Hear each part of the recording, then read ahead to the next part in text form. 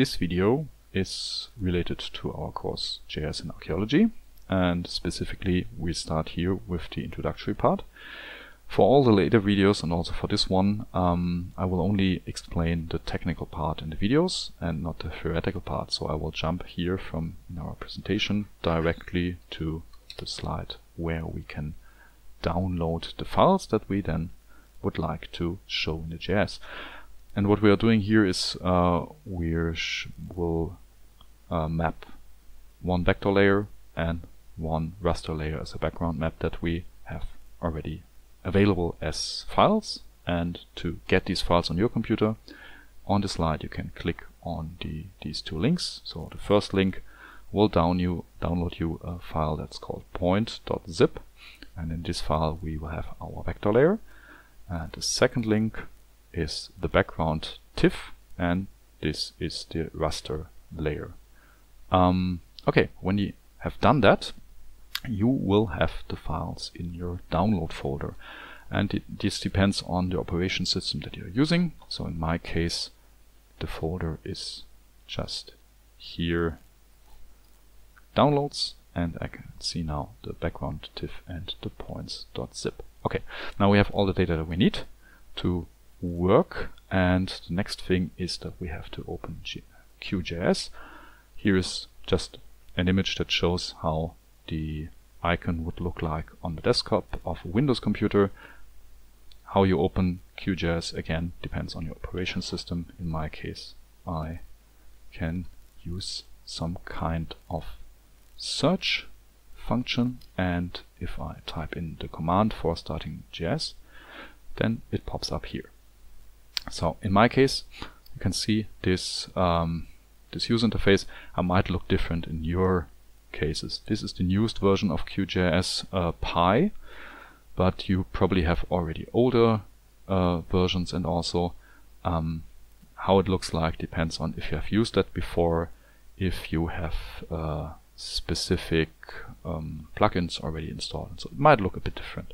But nevertheless, the general structure will be the same as long as you're in the QGIS 3 horizon, then um, the functionality should be accessible kind of like we have now in the video. Okay, let's start. And for starting, we need a new project. I have already here a new project, but I would like to make a real, start really from a blank slate. So for doing that, I click here on new project or in Deutsch neues Projekt. And now this central screen will be emptied and we can start from scratch. Okay, as I said, we want to import two layers, one vector layer and one raster layer, and I will start with the vector layer.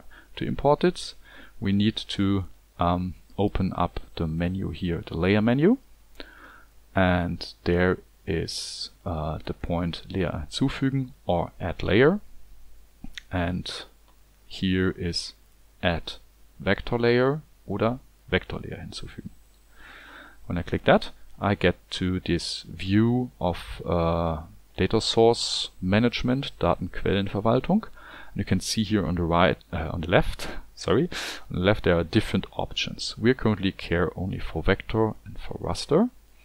And if I click up here to layer, add layer and raster layer, I would get kind of the same window here, but then raster would be highlighted. Okay, but we would like to start with vector. Okay. Now, here the main interesting uh, line here is this source line and here you can now enter the name of the layer that you would like to open if you would uh, be already in the working directory. But since we don't know at which path your file, your downloaded file is, it's most convenient to click on this three dots button to the right and then your file management um, screen will pop up again depending on your operating system. In my case with Linux it looks like that and I'm already here pointed to my downloads folder. um, you have to search for this download folder or wherever you have downloaded these files. And now I can directly click on this points.zip. That's something that I, that I only uh, recognized during working for the course here. Um, QGIS is now smart enough to open a zip file and extract the different um, informations that are stored in a zip file.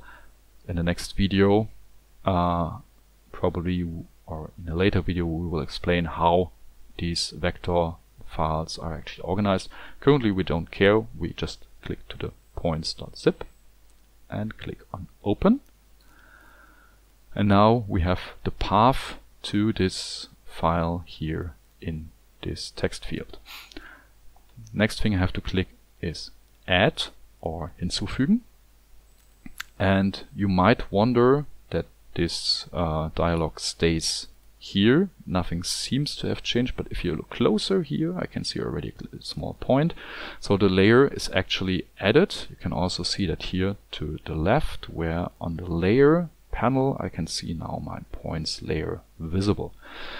Um, the reason that this behaves like that is that you probably would like to add more vector layers or more other layers um, within one go. So this is why this dialog is not closing automatically. To close it down, you have to click explicitly here on close. And then we can see here our individual points. There they are. Next thing we would like to add is the raster layer, the background layer.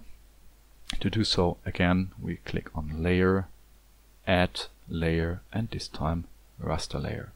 And the process is the same. Um, here in Source, we specify where our raster layer should come from. Again, in my case, it's the download folder. I click on OK. Click on Add and close the dialog again. And now we can see here a bit distorted this background image, this background map that we can use. And since we don't see our points any longer, we can click and drag and drop the background layer below the points and now they are there so not very well visible but here are some points that represents the data that we would like to map. For the first video we leave it for this, so now we have seen how you can easily add layers to your map. And in the next video we'll talk about how you can style the points that, for example, they are better visible here on your background map.